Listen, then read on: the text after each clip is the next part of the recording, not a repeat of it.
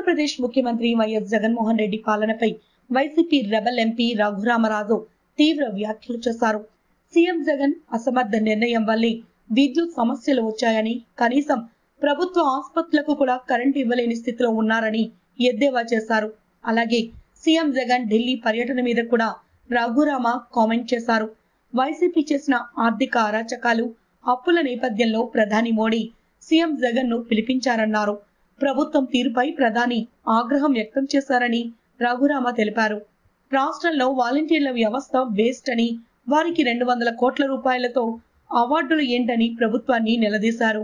CM Jagan తన మంత్రుల చేత ప్రతిపక్ష నేతలను తిట్టిస్తున్నారని పెంచిన కరెంటు ఛార్జీలను తగ్గించాలని పోరాటం చేస్తున్న వారిని ప్రభుత్వం అక్రమ అరెస్టులు చేస్తోందని రఘురామ ఆగ్రహం వ్యక్తం చేశారు. జగన్ కేబినెట్ మంత్రుల్లో అవినీతి పరులు ఎక్కువయ్యారని వారి మీద జగన్ చర్యలు తీసుకోరని వారిని తొలగించే ధైర్యం చేయలేదని ఒకవేళ చేస్తే పార్టీలో సంక్షోభం వస్తుందని ఆయన వ్యాఖ్యానించారు. సీఎం జగన్ తీరు వల్ల ప్రజలు ఏదో రకంగా ఇబ్బందులు పడుతున్నారని ఆయన తీరుతో ప్రజలు విసిగిపోయారని వచ్చే ఎన్నికల్లో పార్టీకి డిపాజిట్లు కూడా రావని ఆయన జోస్యం చెప్పారు.